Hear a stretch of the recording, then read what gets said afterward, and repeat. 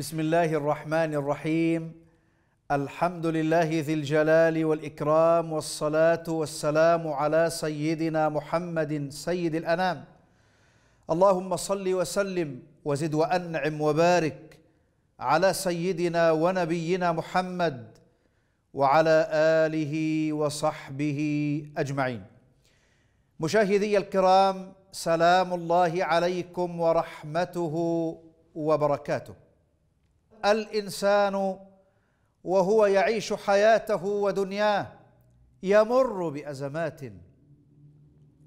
ويمر بصعاب ويمر بمشاق في هذه الحياة.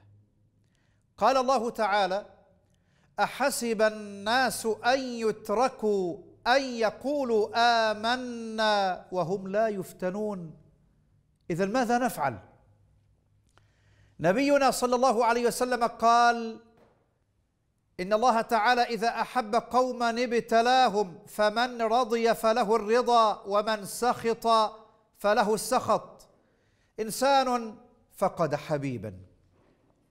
إنسان ابتلاه الله بمرض ابتلاه الله بفقر ابتلاه الله بكذا وكذا من أنواع الابتلاءات. ماذا يفعل؟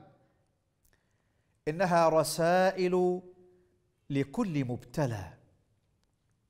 بداية اصبر فإن مولانا يقول إنما يوفى الصابرون أجرهم بغير حساب.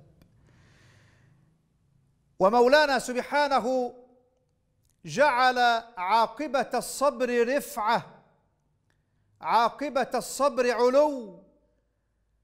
والذي يقرأ أواخر سورة النحل مع أوائل سورة الإسراء يلحظ هذا المعنى الجميل. والذي يقرأ أواخر سورة الطور مع أوائل سورة النجم التي تحدث الله فيها عن المعراج وفيها معنى العلو والرفعة يلحظ ويدرك هذا المعنى. أن الصبر علو أن الصبر رفعة أن الصبر منزلة سامقة رفيعة. ولئن صبرتم لهو خير للصابرين. واصبر وما صبرك إلا بالله. ولا تحزن عليهم. ولا تك في ضيق مما يمكرون. إن الله مع الذين اتقوا والذين هم محسنون. وبدأت سورة الإسراء. بدأ العلو. بدأت المعية. بدأت العناية بدأت الرعاية والحماية والولاية. وهناك في أواخر سورة الطور واصبر لحكم ربك فإنك بأعيننا.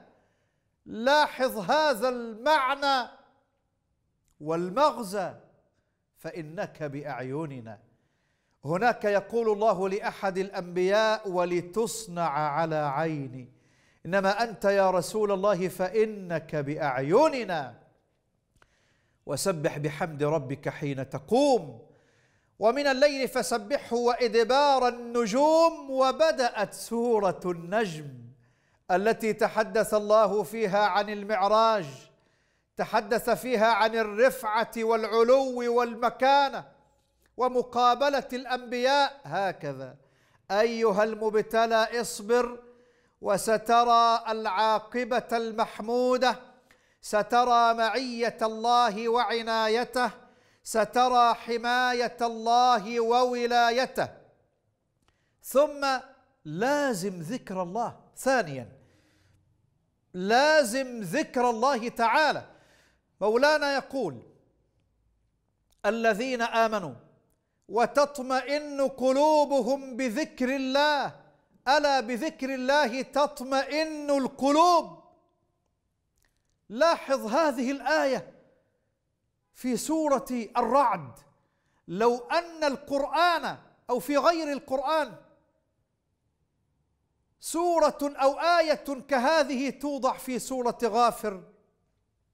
مثلا أو في سورة محمد صلى الله عليه وسلم. إنما هذه الآية في القرآن الكريم في قلب سورة الرعد والرعد صيحة وصوت عظيم.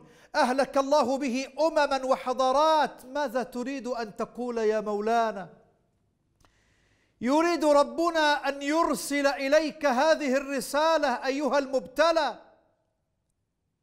يريد ربك أن يقول لو كنت وسط المخاوف الرعد لو كنت وسط الأهوال الرعد لو كنت وسط المصائب بذكرك مولاك ستخرج منها سليما معافى. الذين آمنوا وتطمئن قلوبهم بذكر الله ألا بذكر الله تطمئن القلوب؟ ثم عليك بالصلاة والسلام على سيدنا رسول الله. عمود النصر في غزوة الأحزاب كما في سورة الأحزاب بعد البداية وقبل الختام. ذكر الله تعالى يا أيها الذين آمنوا اذكروا الله ذكرا كثيرا. وقبل الختام إن الله وملائكته يصلون على النبي. يا أيها الذين آمنوا صلوا عليه وسلموا تسليما. فلاحظ هذه الرسائل وغيرها أيها المبتلى لتصل إلى بر الأمان ولا تيأس من رحمة ربك الرحمن. وصل اللهم وسلم وبارك على سيدنا ونبينا محمد وعلى آله وصحبه أجمعين. والسلام عليكم ورحمة الله.